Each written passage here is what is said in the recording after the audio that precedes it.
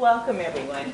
I'm Nancy Sanchez from Community Relations here at Packard Children's Hospital, and it's my pleasure to welcome you to the third in our series of uh, 20th anniversary uh, lectures celebrating the many innovations happening here at Lucile Packard Children's Hospital over the course of the last 20 years. And this evening, as you know, our topic is uh, I have a different topic from that innovations in minimally invasive pediatric surgery and technology, presented by Dr. Sanjeev Dutta, who is Associate Professor of Surgery at Stanford School of Medicine and Surgical Director of the Multidisciplinary Initiative for Surgical Technology Research. Now, Dr. Dutt is the Arlene and Peter Harman Endowment uh, endowed faculty professor and surgical director of the intestinal rehabilitation program here at LPCH. He's also director of the Stanford Surgical Skills Curriculum, and he's the associate director of the Goodman Center for Simulation in Medicine at Stanford. His many research interests include his innovative work uh, in minimal access and scarless surgery for children. So it's my great pleasure to thank Dr. Dutta for the generous gift of his time and expertise this evening, and I'd like for you to join me in welcoming Dr. Sanjeev Dutta. Thanks, Dr. Thank you very much for coming here tonight. Let me start by saying that um, it's really exciting that we're 20 years in, into things with Lucile Packard Children's Hospital. I came here about six years ago, roughly, and, um, and I came from Canada, and um, I'd heard of Stanford, and I'd heard of Lucile Packard Children's Hospital, but I came from an institution that was very old. It was much older than 20 years old. It was more like 120, maybe even 150 years old. Um, and so I had a very different perspective we had this sort of hallowed halls of the place is called uh, the Hospital for Sick Children in Toronto, and uh, this sort of a lot of legacy, etc. And what immediately struck me about Stanford and Packard Children's Hospital was the enthusiasm and excitement for the future. While at, back at Sick Kids, we thought a lot about the past, and we, you know, and rightfully so, we celebrated it. Here we spend a lot of our time thinking about the future, and that I found was really exciting and something that I wanted to be involved with, that I wanted to help take those risks and pave the way forward for children's health and, and uh, surgery in children. What I'm going to talk to you about today is uh, a couple of things. One is some of the work I've done in uh, innovating, innovating pediatric surgery. And I'd also like to talk to you about some new ventures around technologies for uh, me uh, medical applications in children specifically. And the reason that I've sort of gone down this path wasn't necessarily by design, like most things. It was sort of serendipity. And the reason it happened is I, um, I came to realize after the first couple of years of practice that I was, uh, I was becoming very uh, preoccupied with the the, the disease aspect of what I do. And I think as physicians, we come, become very intrigued and interested and excited about the diseases we treat. And as a surgeon, you become excited about the operations you do and, and the technicalities of those operations and the clinical care. And what you forget sometimes is there's a patient there. Uh, and I suddenly started becoming very aware that the things I was doing wasn't just, I wasn't just doing an operation and fixing a problem. I was having an impact on these children that goes well beyond that. And, and thankfully, some of that impact was really positive, but as you can imagine, there's some real negative impacts. So I was making big scars. I was uh, hospitalizing them for extended periods of time, and that was having a psychological impact on them. And, um, and what I came to realize is there's all this collateral damage of what I did as a surgeon in my effort to help kids. And I needed to focus on some of that as well. And so the goal of all this stuff is very simply to minimize the collateral damage of the work I do so that I can be more effective as a surgeon. So that's it. Good night. No, I'm joking. I'm joking. No, uh, so let me tell you about what we're going to talk about today. And I'm going to speed up at times because there's certain things I want to make sure you see, and I'll slow down for those things. I want to talk to you about what is the evolution of minimal access surgery in children, and I'm going to explain to you why minimally invasive surgery was the term that was being used by Nancy and why I used the term minimal access. Okay, uh, I'm going to talk to you about sort of a concept that I've I wouldn't say that I, I created it because, like most things, there are people from all over the place that come together. But I, I did sort of defi- define this term of stealth surgery uh, to encompass a certain way of thinking about your patient. I'm going to give you some examples of stealth surgery. If I get a chance, I'm going to show you a movie, and uh, nothing like the Oscars. And the critical role of novel technologies. I'm going to get into that a bit.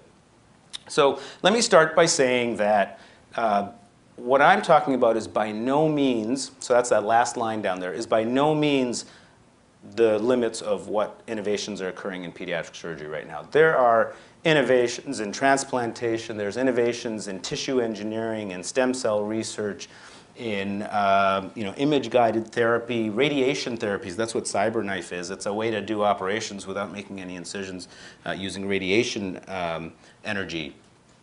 Um, I'm only talking about one part of this, and, uh, and I'm not particularly good with test tubes or physics and things like that. So what I'm talking about is what I am very passionate about and what maybe I'm a little, I'm pretty good at. And uh, that's why I chose this area as a focus of my research and academic uh, endeavors. So minimal access surgery is not minimally invasive surgery. I'm still really doing a very invasive operation. It's as invasive as it always was, even through a big incision, except that I'm doing it through very small access points so that I can almost uh, not leave any evidence that I was there. I'm going to talk to you about that a little bit more in detail in a while. So I do the minimal access and I try to minimize the collateral damage, the damage I told you about, uh, while still doing maximally invasive procedures. also, I think that the, that the role of surgeon is changing. There was a time where we had, well, there still is a time where we have surgeon, an endoscopist, that's somebody who takes long camera tubes and puts them down your mouth and other areas.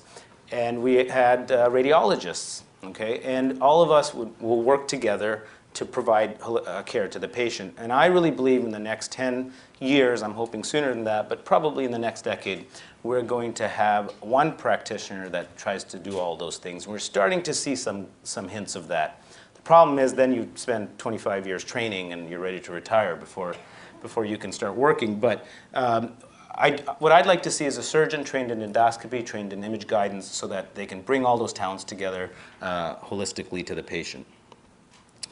I want to talk to you about the evolution of minimal access surgery. So it sort of started uh, in the early 80s when we started realizing that, well, when we make big incisions, that's quite traumatic to the patient. And well, what if we can use these new technologies of cameras and special chopstick-like instruments and poke holes into the belly or the chest and, and then use the camera to look inside? And, and it was not embraced with open arms. Uh, there was a lot of skepticism and a lot of caution, uh, rightfully so.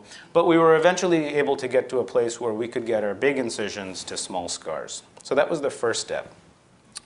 Um, so the one of the places that, we, and I, and I uh, apologize ahead of time if I shocked people with some of the images I had, but um, Nancy told me and uh, that, um, you know, that, that you wanted to see that. So here they are. Um, hopefully this, uh, this projects okay. So a hernia in a child, essentially what it is, is, um, let me get my laser pointer here, is there is, uh, here's your intestines in your belly. You get a little hole up here, and intestine can get down through the hole. That's a congenital hole. Everyone's develops with it, and it should close up. The intestine goes down into the scrotum, as you can imagine, and the baby gets a really big scrotum because it's full of intestine. Now, the the fathers always claim that they're not surprised by the size of the scrotum, that this is, you know, what, what do you mean? There's nothing wrong here. But, there, but actually, what's happened is that all that intestine's gone down to the scrotum. And what we used to do is make incisions in the groin on both sides, and we would, um, we would repair those hernias putting at risk some certain structures, uh, such as the vas deferens and the testicular vessels, which are extremely important because they supply the testicle and they let the, the sperm travel, and of course, fertility is dependent on that. So, at this institution, we were the first to widely adopt a new technique of doing this where, and we actually reported our experience back a couple of years ago, where we actually, I'm not sure this projects well, but this is looking from the inside, and this is the hole that, that you'd see on the inside that allows that intestine to go through. We put a little telescope in the, in the belly button, which is a scar, so you go through the old scar, And um, under visualization, we make a tiny two millimeter incision, and we can pass a little a stitch right around that hole, tie it up. We don't touch the vas and vessels, so we don't damage the testicle. And this operation now takes us for one side on, on, a, on a boy about eight minutes. So it's very, very fast and virtually pain-free. The babies, um, we believe, have no pain at all, except for maybe a dose of Tylenol after the operation, and the older kids are in a little bit of discomfort for about 12 hours. So it's a very uh, effective operation. Well, that got me kind of excited to, to start doing this and see the impact that this could have. And I started thinking about other places that we've used minimal access surgery. So chest surgery is another area where we make, uh, we used to make, and in some cases still do, make a big incision. That's the front of the child, that's the back of the child. That's called a posterolateral thoracotomy. And that's how we access the chest cavity to do lung resections or get at the esophagus or the, or the airways. Trouble with that is you do that in a baby, which we often have to do, and you end up with chest wall deformities later in life. And these children can develop scoliosis, hunched over. They can get something called a winged scapula, and that comes from cutting the nerve that supplies a special muscle on the chest wall that keeps your scapula in place. And if it's damaged, then that scapula flares out. So they have significant problems with that. We now have enough technology and experience that we can now, once again, use these uh, chopstick-like instruments. We can um, use cameras, and we have the skill, dexterity, and the train, appropriate training to now remove masses in the chest, in, inside the chest, as you see here, and just use three little puncture points like that. We've basically eliminated the pain of a thoracotomy, which is significant, and we've eliminated any chances of having chest wall uh, deformities later in life. We can also do this for uh, lung resection. So this is an example up here of an abnormal part of the lung that this child is born with. Uh, these are big blood vessels uh, serving that part of the lung, and we have special devices that can just seal the artery. Uh, we don't have to tie it or clip it or anything. We just apply those devices. They seal the artery using a special type of heat, and uh, we can remove that entire piece of lung. There's the perception out there that, well, how can you do these operations through a long, thin rod lens? Isn't it like looking through a straw? And actually, I would say it's quite the opposite. In fact, it's so much the opposite that there's difficulty in understanding and assimilating the information you get when you first do this, and that's the challenge. You get too much information, and here you can see this area that we're looking at. let, me, uh, let me just tell you that this instrument is three millimeters in diameter. So this area that we're looking at is inside the chest of this baby. We've gone through three port sites here, and it represents about one inch square of the inside of the chest cavity. And this child has an abnormality of the esophagus that uh, people said could never ever be done thoracoscopically, meaning using minimal access instruments and stab incisions. And we now routinely do this. In fact, just last in the last month, I think we've done three or four of these. Um, these children uh, are very well uh, served by this operation, and uh, we once again avoid all that sequela. In fact, this is the child of, uh, of one of the plastic surgery residents that was formerly here who uh, sadly had this condition, but we were able to fix it. Those are the, those are the scars, and um, that's the, the study, the contrast study, when we do showing that the esophagus looks essentially normal.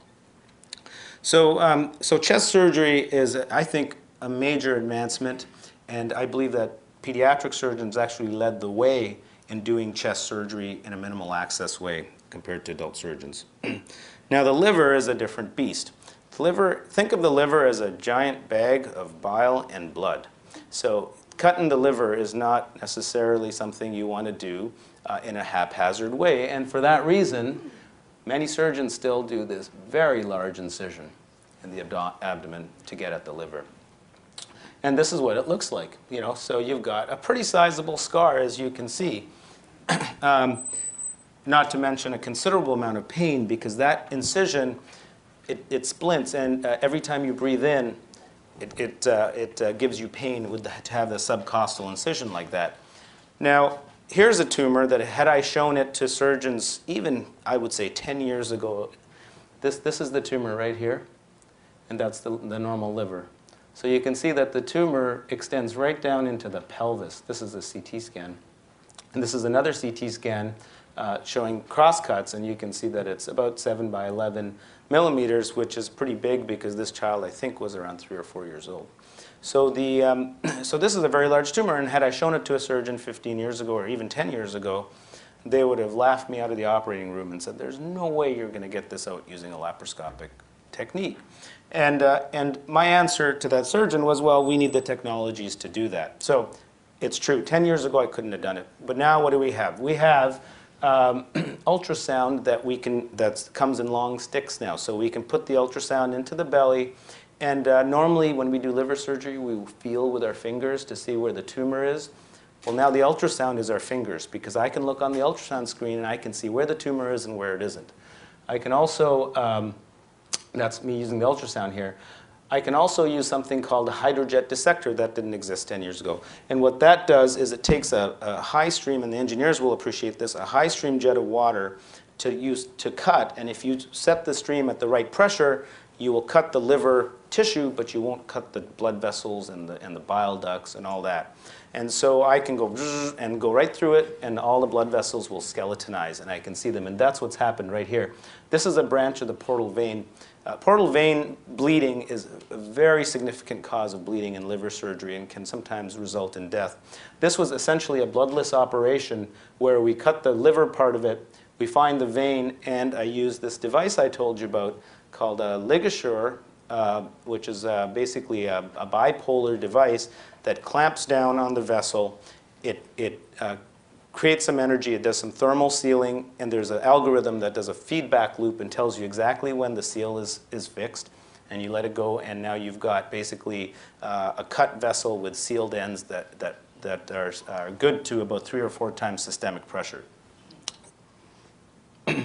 so this kid, unfortunately, had a tumor that was uncertain of whether it was benign or malignant. It turned out to be benign, thankfully. And so what I did is instead of removing it through, this is the head up here, instead of removing it through this subcostal incision, which we would have done, I made, this is the sort of incision you would see with a C-section. It's much less painful, although just so I don't offend the ladies, it's still kind of painful, but um, it's much less painful than this incision. And that's the tumor, that's a two-inch incision, and we removed it that way, and thankfully it was um, a benign tumor. so why go to all this trouble? I mentioned culture, and I mentioned how as surgeons we get caught up in these diseases that we treat, and we sometimes forget the patient. Um, in fact, I wouldn't go so far as to say that we have this sort of Calvinist culture in what we do, and for us, for many surgeons, it's like, well, you know, yeah, there was a scar and there's a wound, but suck it up. At least we took care of the problem. You know, you'll live, it'll make you stronger to have this. You know, unfortunately, the data is not supporting that. That that the children that we leave scars on don't actually go, hey man, I'm really proud of my scar and this is going to make me a stronger person. In fact, it can have some very negative effects in most children on their socialization, whether they verbalize it or not. So what kind of negative effects? Well, the, now there are actual studies to show poor school performance, um, poor socialization, less likely to make friends. They have reduced self-esteem. And, um, and one interesting thing is when they asked children without scars what they thought of kids with scars, they were less likely to be their friend. They didn't want to be their friend. Everybody wants friends, right? Um, so this is still sort of burning away at me. I'm like, well, you know, sure, we make small scars, but hey, what if, you know, what if um, these scars are, are, are, even if, even though they're small, what if it still bothers these, you know, these kids? I mean, just the fact that having a scar itself is in a way a stigmatizing experience. Is that possible? I think it's possible. And so that was sort of bothering me a bit. And, um, and so that's why I, I thought, well, what, what if we could hide the scars? Okay, now, now we make small scars, and what a great thing that we did. We went from big, huge subcostal incisions to tiny little, you know, one, one centimeter incisions or five millimeter incisions. Um, what if we could hide the scars? And uh, I think I'm going to have trouble with the next slide, but no, I'm not. I'm good. This is what I see when I look in the mirror every morning. Um, and so I, I, thought, you know what? Like we do all this stealth stuff, right? Why can't we do stealth surgery? And that's what stealth surgery is about. It's about performing complex operations without leaving evidence that they occurred in an effort to minimize the collateral damage of surgery. So that's my mission. If I were this soldier, my mission is to minimize the collateral damage of what I do. And, and one of the first places that we started doing that, we actually borrowed from the plastic surgery literature. Okay? Um, plastic surgeons do brow lifts, right? Get rid of your wrinkles, and that's, what's, that's what you see there. And some pretty good plastic surgeons will do that by making incisions in the scalp and then tunneling underneath the skin and tightening up the muscles. That's called an endoscopic brow lift. Well, gosh, if we're going to spend all this effort and energy into endoscopic brow lifts, why can't we spend that kind of effort removing lesions, clearly stigmatizing lesions from the foreheads of children? That was the thought, and you can see this little tumor here. This is called a dermoid cyst. It's a benign tumor, but you know, it's benign in the sense that it's not going to spread anywhere, but it's certainly not benign in, in the way it looks, right? Um, and so we had uh, Peter Lorenz, he's uh, one of our plastic surgeons, and I invited Peter to come over and say, Peter, show us how you do this brow lift stuff. And, but let's, not, let's do something different. Let's, let's remove one of these lesions. And that's exactly what we did. Um, this is an example of a lateral brow dermoid. And this is uh, a more severe example. You can see the lump right there. That's called a nasoglabellar dermoid cyst. And that's a rare variant. But the trouble with that one is this smack right here. So, and uh, if you go to remove it, you're going to make an incision right between the brows. There's no good way to hide that incision. You can't hide it. In the, in the lateral brow, people try to hide it in, just on top of the eyebrow there. But here you can't hide it. And what have I basically done? I've taken one deformity and replaced it with another deformity. So I've really done no good for this child. Not only that, but this, this was a, an adolescent female, and she had, uh, you know, as most adolescent females, had acne. And if I make an incision there, it has about an 80% chance of getting infected, and infected incis- incisions don't heal. So it's a catch 22. So I took uh, Peter's uh, brow lift stuff. That's it right there. Nothing too fancy. And, uh, and once again, I'm sorry to shock you with some of these images, but this is the incision uh, above the hairline. You can see one here. And we're just looking inside and tunneling down to the, um, tunneling down to the, um, to the lesion. And then we can use some instruments. And I'm going to show you a picture of that. There, you can see a second instrument going in there, and it's doing um, all the dissection. The inside looks something like this. There's that lump. Okay, and there's uh, you can't really see it here. The instrument tip. That's a two millimeter, or uh, sorry, three millimeter instrument. And once it's all removed, the lump's gone. Um, and kids are happier. So this is the boy with the, the brow dermoid. Uh, as it turned out, this this uh, little boy was uh, had a very active modeling career and the parents were delighted that he didn't have a scar on his face for that reason. And this girl, as you can see, no scar, nothing to see. It's up in the hairline, uh, and it will hopefully never be visible.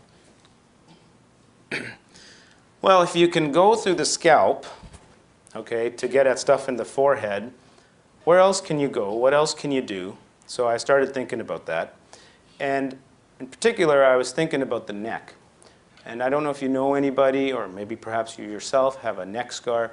Neck scars, as, as much as you try, you, you tend to, to look at them. When you meet somebody with a neck scar, your eyes will go, go to the neck scar initially. And so they're particularly stigmatizing, and in some cultures, such as a Korean culture, it's a, a very stigmatizing, uh, almost considered sort of a sign of bad luck. So you want to avoid neck scars if you can. Now, where are scars uh, or can you put a scar that's not so stigmatizing? And I thought, and I thought, where could I put a scar? Finally, I decided the armpit was the best place to put the scar because no one ever looks at your armpit, hopefully. And, uh, and, you know, and it's basically your arms are down and you're covered and they tend to be covered with clothing. But how do you, if you put a scar on an armpit, how do you get yourself to a place to do, um, you know, the neck surgery? So I'm going to show you a little video here on how we do that. The goal of stealth surgery is to perform an operation without leaving any evidence that an operation occurred. Developed at Packard Children's Hospital, transaxillary subcutaneous endoscopic surgery is one example of stealth surgery. Operations for lesions in the neck are a good candidate for this approach because normally they leave quite visible scar on the neck. The approach involves making some small incisions in the axilla into which endoscopic ports are placed. These ports tunnel under the skin and a workspace is created superficial to pectoralis fascia to allow access to the neck. The initial part of this operation involves developing this workspace, and it is important to spend a good amount of time developing a very wide and cavernous workspace so as to have ease of movement of all the instruments. This is the skin up here, Carbon and this is the chest muscle. insufflation gas is used to assist development of the workspace, and the non-vascular attachments are taken down using hook electrocautery. The generous workspace is visually apparent on the outside of the patient. Typically, two to three ports are used. The first case at our institution using this approach was in a nine-year-old male with congenital torticollis. He presented with a permanent deformity and hemihypoplasia of the face. The video depicts an identical procedure in a patient with left-sided torticollis. After achieving the workspace, the sternocleidomastoid was identified and the sternal head was isolated. Using hook electrocautery, the sternal head of the sternocleidomastoid was then divided at its lower third. Here, the fibrotic nature of the muscle can be visualized, and there is absolutely no bleeding upon division of the muscle. During division of the sternal head, it is important to avoid any injury to the internal jugular vein that sits just posterior to this area.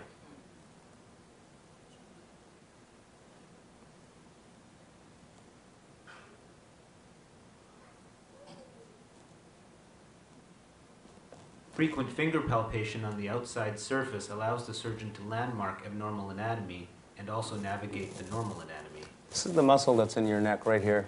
Everybody can feel it It's they want. important to extend this dissection to the contracted bands of the cervical fascia. Once again, these can be identified through external palpation and direct visualization. With the sternal head divided, the less involved clavicular head is then also divided in a similar fashion. The clavicular head tends to sit posterior and lateral to the sternal head. This child had excellent range of motion postoperatively, with well hidden incisions in the axilla and no incisions on the neck. Three such procedures have been performed with mean operative time of 50 minutes. The next patient was a two year old male who had a very obvious, visible dilated vein at the base of the left neck. Once again, transaxillary subcutaneous access was obtained and the vein identified. Careful dissection showed the vein to cross in front of the sternocleidomastoid muscle. A 5 mm LigaSure radiofrequency vessel sealing device was used to transect the vein. The vein was first transected laterally. This was done using two applications of the LigaSure device to ensure hemostasis. The vein was then carefully dissected free to its junction with the internal jugular vein on that side. The vein could clearly be seen distending with respiration. The vein was then transected using the LigaSure device at its junction with the internal jugular vein. Metzenbaum scissors were then used to cut the vein free.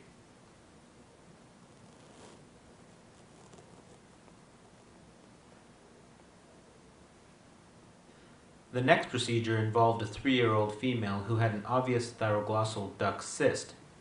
Because of the upper midline nature of this lesion, it was decided that it would be better to triangulate instruments through each axilla and place a camera in the midline between the nipples. This one small midline incision could easily be hidden with clothing. That First, a light workspace was was, the, uh, created the- up the into scope. the neck.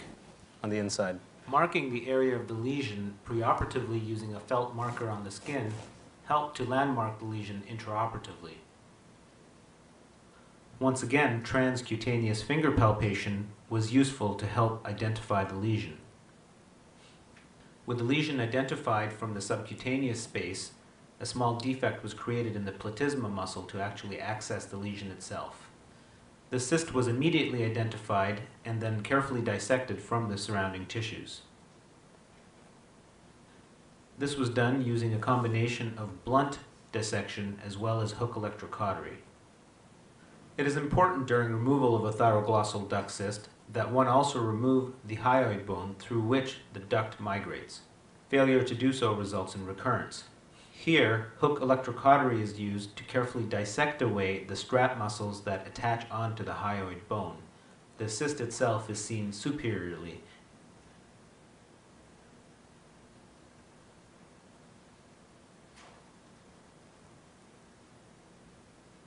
With the hyoid bone delineated and cleared of attachments, the hook scissors are then used to transect the bony portion.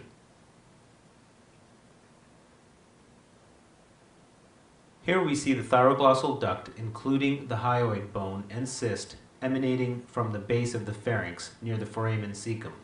The excellent visualization allows full dissection. An endoloop device is then introduced into the area and securely tied around the base of the duct. Here the cyst is detached from the duct and the hyoid bone is shaved off from the base of the duct using hook scissors. In this way, a complete dissection of the cyst and duct are achieved, There's going to be a test on this later, by the and way. the specimens are carefully removed through one of the ports.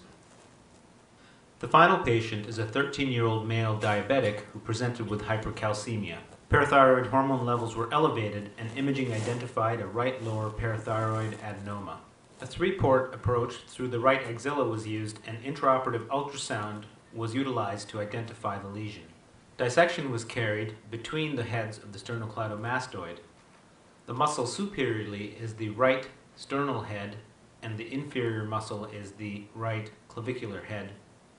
As with the previous operations, note how adherence to the tissue planes allows for dissection through generally avascular connective tissue. Once again, a wide working space is created so as not to have to work through a tunnel.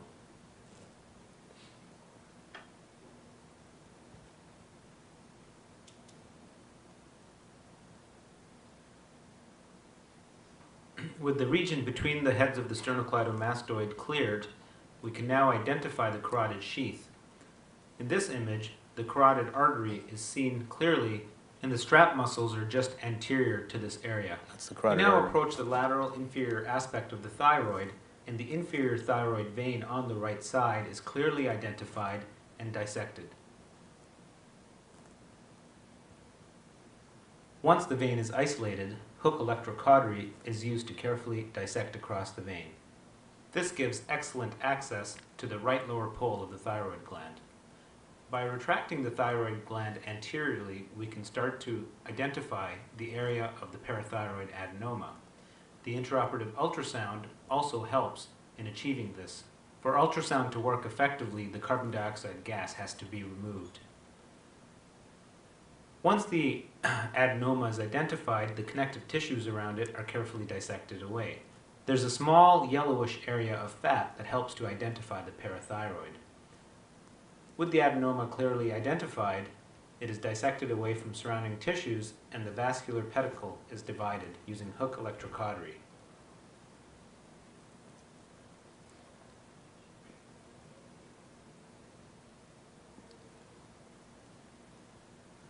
With the adenoma completely freed, it is removed from the area of dissection. Intraoperative parathormone assay showed a sudden decrease in parathyroid hormone, consistent with removal of the adenoma. The adenoma was placed in the finger of a surgical glove and removed through one of the port sites. Here is the postoperative appearance of this patient. The carbon dioxide gas used for insufflation is quickly resorbed, and there is no postoperative bruising. All patients, including this one, were discharged home the same day and required only acetaminophen for pain control.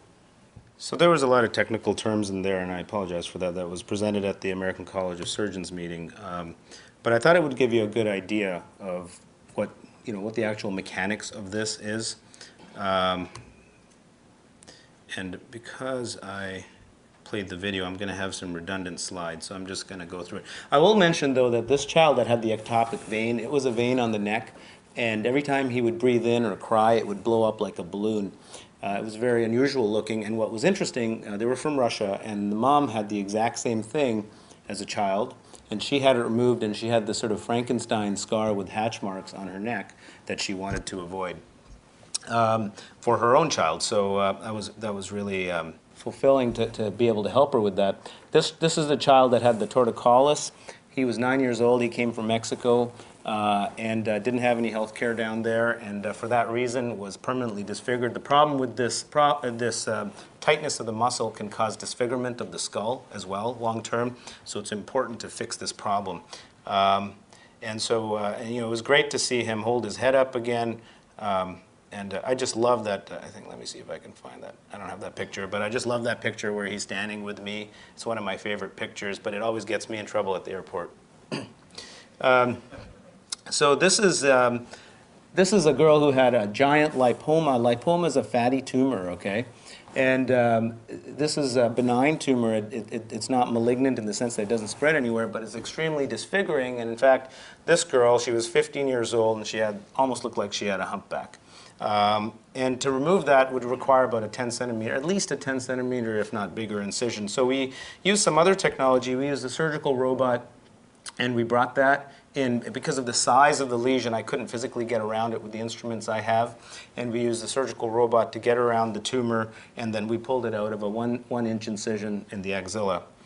so, um, so those are the sort of um, sort of things that um, that um, we've been doing through the axilla. Now. Fine, so I'm never happy, right? My wife will tell you that. And, um, and I wanted to have no scars at all.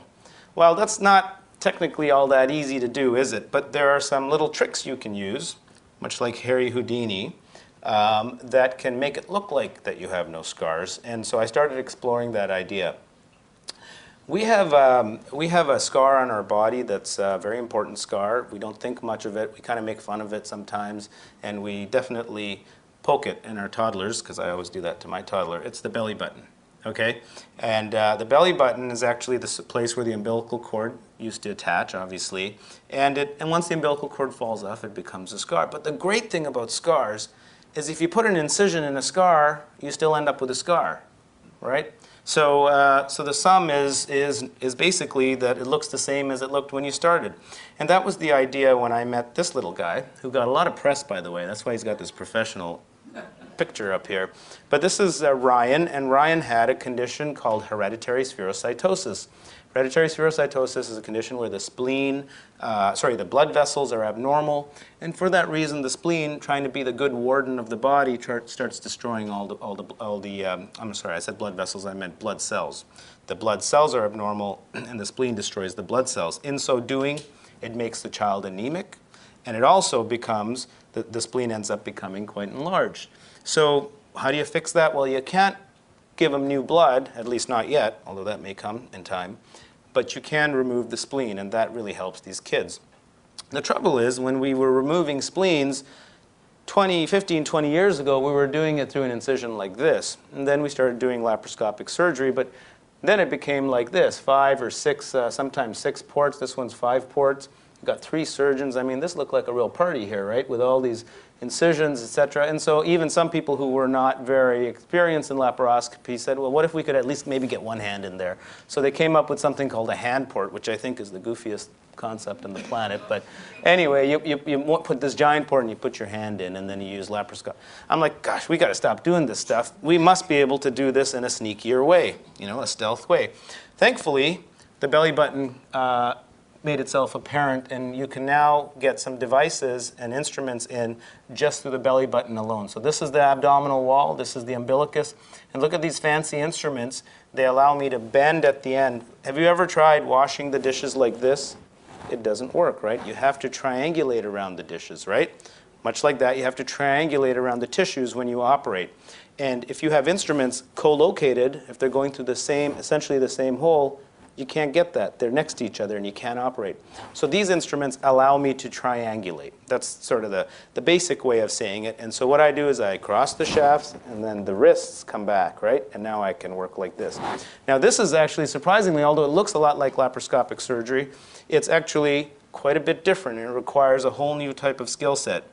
But with some practice, uh, it comes. And um, in fact, you don't even have to use those special ports. Here I'm just using regular ports and kind of shoving them all through the same incision. And that's what we did. We removed um, the spleen using, uh, this is called single incision laparoscopic surgery. And, uh, and Ryan was a star, and he's showing off. That's his, there's no scar there, really. You, can, you can't really tell, but the belly button, there, is an, there was an incision there. And uh, this is just an example. I don't know how well it's projecting. It, can you see that? Kind of. This is an example of a gallbladder removal, and the point is that if you look at the if you look at the instruments, which you can kind of see, one's coming from over here, and the one you can't really see is coming from right here. But those instruments are going into the belly like this. Like straight next to each other. But in, in the inside, it looks like you're doing it as you would normal with the standard laparoscopy. So these here's just more belly button scars. That's all it is, and just to show you that it basically looks like a normal umbilicus.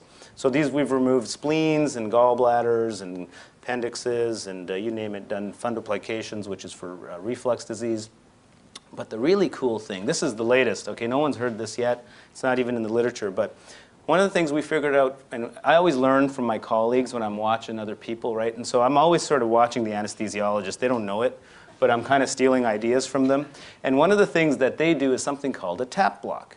And uh, that means transversus abdominis plane block. And that's just big fancy words.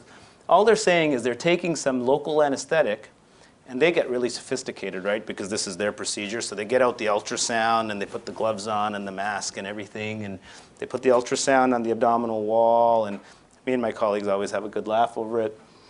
And then they take the needle and they slowly advance it. And this is actually pretty cool. And so I don't mean to belittle them because they act, this is a great idea. What they do is they pass the needle under ultrasound guidance and the needle goes into the plane between the transversus abdominis muscle and the internal oblique muscle probably doesn't mean a lot to you, except that at a certain level of your abdomen, all the nerves, all the sensory nerves to the abdominal wall go through that one area, right? So why is that important? Well, what have, what have I done? I've taken the one, I've taken all these incisions, five or six incisions, all over the abdominal wall, and I've put them at the belly button, right?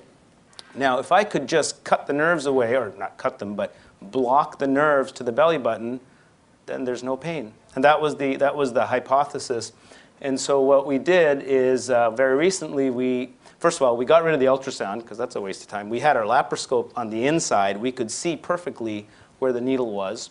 And we, and we, in all these patients, we've started to inject local anesthetic on both sides that lasts for about 15 hours or sometimes a bit longer.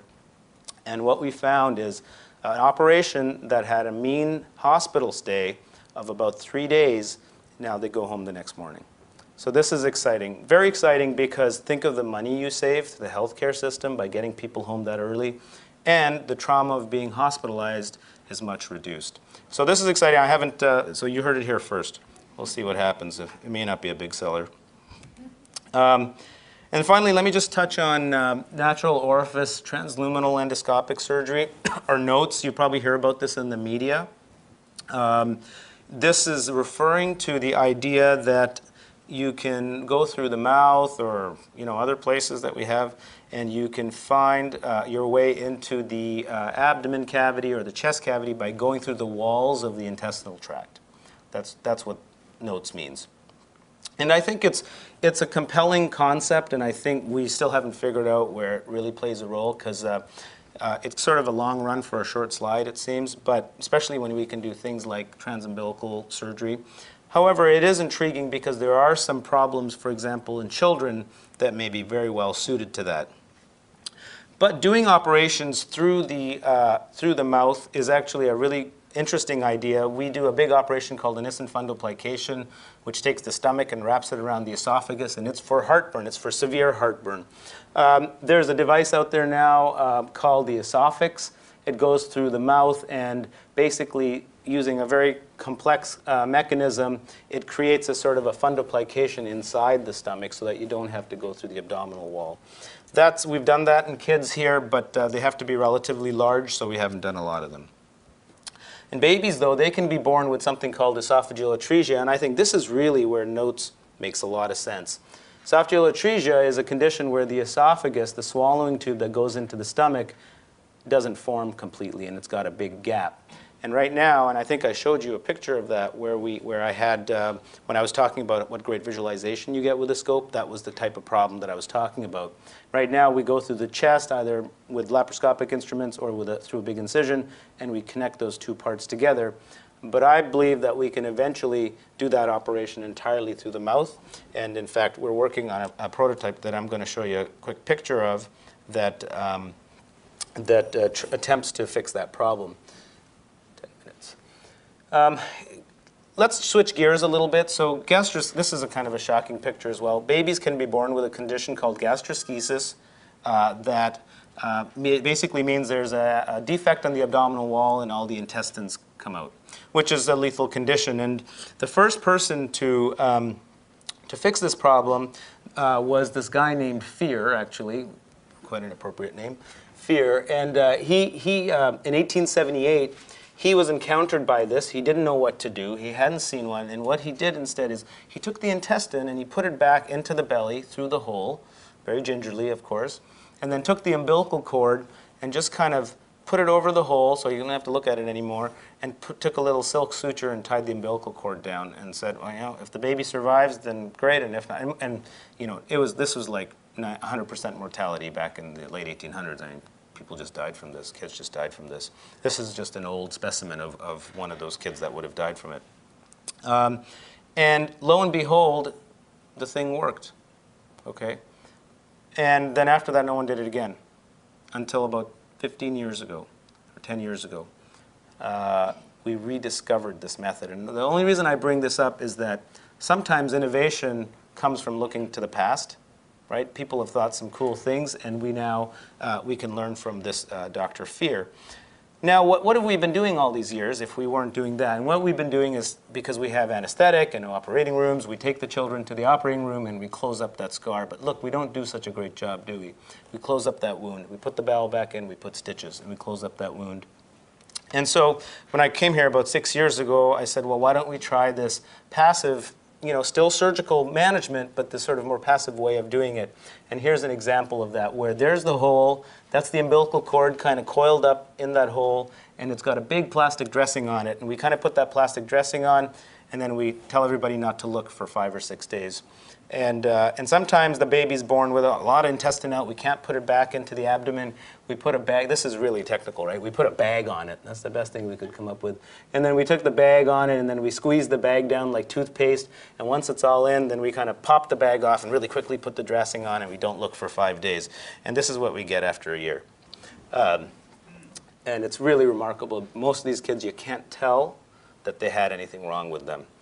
So let's just face it, the body knows how to heal itself, it just needs help. Let me tell you that um, doing some of these things, um, people sometimes ask, well, how do you just, how can you just try something new on somebody? And it's not like I wake up in the morning and over breakfast I go, hey, I'm going to try this today. and I run in and I find the first patient. This is through thought, it's through successive successes, meaning that we do baby steps, we're successful, and we push a little bit further. It, has, it involves a lot of collateral expertise. Um, in terms of um, having, I have a lot of lap laparoscopic experience in the chest before I do something that hasn't been done before in the chest. Um, and so I have I've accumulated a lot of experience, and I use technologies that are tried and tested.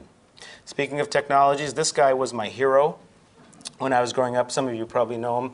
Uh, this is Doc Bones from Star Trek, and what I loved about Bones is he had that little device. You remember the device? And you just kind of, somebody would get sick, and you just take it over and go beep, beep, beep, beep, beep, like that on top of them, and they'd be better. And I go, wow, wouldn't it be great if we could do that? Of course, I'd be out of a job, but wouldn't it be great? And so that's what got me into the idea of how do I, um, how do I make new devices and how do I innovate in the field of surgery? So there is a problem though, because I have all these ideas. You know, I kind of know what I want and I kind of have an idea of what it should look like. So, and I have an insight into the problem, but I don't have the technical know-how. The engineers, they have a lot of technical know-how, but they haven't got a clue what they should be making. And so together, it's like a match made in heaven. There's a difficulty in communication. They speak a different language than I do. And it took me a long, I'm still learning it, but it's taken me a long time to kind of learn how to communicate with engineers and, and see into their world. But what I have learned is early collaborative teamwork is essential to the device design process. And that if you delay this interaction, which all too, happen, all too often happens, uh, somebody very bright engineer makes a device works on it for three years and then talks to a doc. That's the wrong thing to do because delayed interaction will lead to confusion. They got to understand the clinical context and the clinical algorithm. And this is, in the terms of technology development, I think this is the most important thing, most important message is you, making cool stuff isn't enough because you can make a really cool device and the doctor has absolutely no use for it because it doesn't impact the clinical uh, pathway. It's very, very important to understand the clinical pathway, and you need docs involved for that reason. Um, for this reason uh, and this interest, I got to know one of the engineers at SRI International. SRI is formerly Stanford Research Institute, and then in the 70s spun off uh, under, as their own SRI International. It's in Menlo Park. And uh, Pablo Garcia and I just started talking about this, and, uh, and as most things, like Hewlett and Packard, a friendship emerged, and from that friendship emerged a, uh, uh, uh, I think, a great driving force in pediatric devices. We wanted to create a skunk works. Skunk works is an old term that Lockheed Martin used for their research uh, institute, which was unhindered. It was an unhindered research institute. We wanted to be that. We wanted to be like the mad scientists, do whatever we want. Turns out you can't really do that, but we try. Um, so some seed funding from SRI, the Packard Foundation thankfully was there for me, and the Department of Surgery gave me some internal funding, and we started fooling around a little bit with, with medical devices. We, in 2008, we established Mistral, which is multi, uh, multidisciplinary initiative for surgical technology research. And I added the advanced laboratory because otherwise the acronym was MISTER, which I thought was less appealing. Um, Here's the team right now, and two of them are sitting right over there. This uh, Karen Shakespeare and Sarah Young, and they're our engineering um, uh, fellows. They have engineering backgrounds, and this is Pablo right here, and uh, lots and lots of um, work going on. This is the process. All it's describing is we create working groups around medical device problems. Um, and we iterate and iterate and, uh, and the working groups will have engineers they'll have uh, clinicians from stanford mostly but also elsewhere and we'll have uh, other specialties. So for example one of our working groups around catheter infections has a infectious diseases specialist from, St- from stanford university. Uh, we have business analysts etc whoever we need into the working group right from the very beginning. And that's when we, when we start that process of innovation. We work together, and once we get to a device project, we, get, we start looking at potential uh, exit strategies, uh, for, uh, particularly for commercialization. Uh, and we um, you know, look at VCs, angels, et cetera. But the goal is to create, to get that thing commercialized and then take any equity from that and refeed it back into Mistral. So this is a not-for-profit type of concept uh, that hopefully will will help um, support a lot of new device ideas. So as we were sort of developing the idea of Mistral, I started recognizing the prob- problem of pediatric medical devices. So what's the problem? Well, there ain't a lot of kids out there, okay? And there's even fewer kids that are, that are sick and that need medical devices. So the VCs were not knocking down my door looking to give me money, okay? Because there isn't a huge market. We're still using a lot of archaic devices. This is one of the first devices I used as a, as a trainee in pediatric surgery. I know you're saying that looks like a grapefruit spoon, and it is a grapefruit spoon. And it's a grapefruit spoon with a little line uh, carved out of it. And what we used it for was hernia repairs to separate the hernia sac away from the other vital structures. Uh, but it's, it's a testament to, I mean, on the one hand, it's kind of elegant solution and cheap, right, which is nice. I mean, I think we should adhere to those principles, but it also kind of shows the type of investment that's been in, in pediatric healthcare. You know, we have surgical robots for prostatectomies, but we got a spoon for the babies. Um, a lot of devices are used off-label. In other words, uh, they were uh, they were not never designed for pediatric use, and we use them for pediatric use. Or we come up with our own solutions. This is one that was made in the in the garage of a surgeon. Um, and we do have this culture of using adult devices on children, which is almost always the wrong thing to do because the devices are, are, are very big. But so the challenge then becomes, you know, how do we address these smaller niche markets? How do we make it uh, attractive for investors to, to get involved? Um, how do we get through those FDA barriers? There was no template to follow. Well, one of the first principles, I mean, when I started out on this, I was like Star Trek, right? I want to have the coolest uh, device and it's got to walk and talk and etc. And what I came to realize is the problem of medical devices is not a problem of extreme technology, it's a problem of extreme affordability. Okay. And what do I mean by that? And I'm going to tell you what this is. This thing is called. This is the Da Vinci robot. This is the uh, the um, the um, uh, surgical uh, robotic device that we use uh, uh, in many hospitals today. And this is something called Embrace. And Embrace was developed for actually, I think it was India or Bangladesh. I can't remember which one. I think India. And uh, and what it is is an infant warmer for premature babies. and it's sold uh, throughout villages for a very, very affordable cost uh, to uh, people in these uh, third world nations who have premature babies who would otherwise require an incubator, but who's going to provide them with a $30,000 incubator? It's not going to happen. One of our docs, uh, Vinod Bhutani, was involved in the development of this, of this device. This is how we have to think in North America as well. I really believe that. I think we got to stop thinking like, okay, let's make the next, you know, uh, fighter jet that uh, equivalent of a surgical device, and let's make things that are affordable, that are cost conscious, but have high, high impact. And so that's what I'm trying to do. Fortunately, the FDA thought was thinking along the same lines, and, and uh, there was an act, uh, FDA Amendments Act in 2007, of which Title III uh, sought to improve the research, manufacture, and regulatory processes for pediatric medical devices, and to help support the establishment of nonprofit consortia to stimulate development of pediatric devices. And uh, hey, that was kind of cool because I was like, hey, that's us. So we applied uh, to this grant that was uh, administered by the FDA to support these nonprofit consortia, and they had a two and a half million dollars over two years to do this. And Mistral became, excuse me, one of the one of the four grant recipients. We got a million dollars, five hundred thousand a year for two years, along with Michigan, UCSF, and Boston Children's. And so um, the objectives are to turn unmet needs into viable products by creating community of stakeholders with a pipeline of sustainable opportunities, and also um, to develop funding opportunities which address the clinical need, the business opportunity, and the technical approach. Uh, we're also seeking industry partners to help us commercialize some of these products. The goal here is sustainability. Get them out there, get them uh, so that people can use them. Um, and, uh, and of course, you can't do it at a loss, so you got to figure out a way to make it so that you can keep this, uh, the pipeline of devices coming. We have a whole bunch of different uh, uh, devices we've been working on, working on with um, the cardiac intensive care unit doctors at um, in, at Packard Hospital working on clinical dashboards, large screens that show you data on the patients, and then take that data and do predictive analysis. So before there's a crash, in other words, before a patient has a cardiopulmonary arrest, uh, this, this uh, software will tell you that it's going to happen and you can start doing things to prevent it in the first place. So predictive analysis. So technology includes information technology. Um, we have uh, here we have a device for doing um, that connection of the esophagus that I told you about. I'll show you a little picture of that. We're working on a device for something called pyloric stenosis.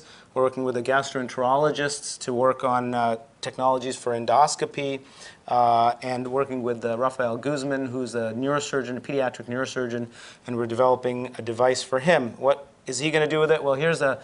Uh, I, I, I had to put the end of the device in here because I couldn't actually show it to you because of IP issues. So that's why this picture is not so revealing.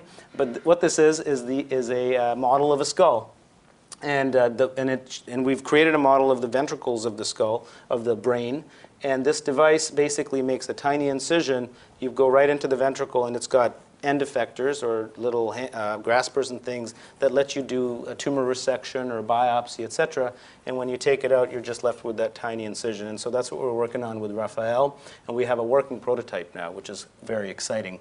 Um, surgeons, many, most surgeons make an incision, take a piece of the skull off, spread the brain like this with retractors, and do that operation. So this is going to be a really, really big hit if we can get it to, uh, to work. This is the pyloromyotomy device, and this is the little anastomosis device I was talking to you about. So, but you know, our work isn't done. I think uh, Mistral's still a work in progress, and I kind of look at it as Death Star. You guys recognize this? Yeah, Death Star, and it's we're still building, and uh, we're trying to develop industry contacts and getting support from the medical device industry in this endeavor. Uh, but I am uh, certain, I'm certain that we're going to be successful. It's just a matter of time. I thank you so much for your time. Thank you. Thank you.